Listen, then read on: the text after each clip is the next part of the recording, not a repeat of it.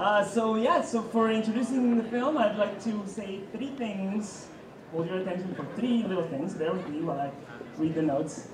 Uh, so first, it's a movie that deals with uh, religious extremism, okay? And it's also a dark comedy. So it's especially hard, you know, to be lighthearted about a subject like this uh, when you see the newspaper, right? But I don't want to bum you guys out. You know, I still want you guys to get drunk and get laid with all the artists because, you know, they work very hard, you know, so they deserve it.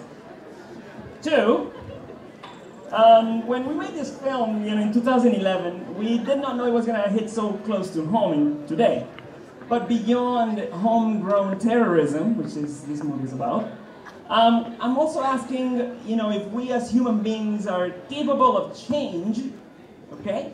When we have the strongest convictions about something, when all of a sudden something in our lives change, okay?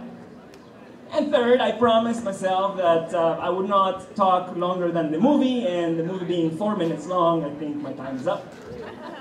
So have fun tonight. Uh, if you have anything to talk about, you can, uh, you can meet us later. Enjoy the show, enjoy the night. Thank you.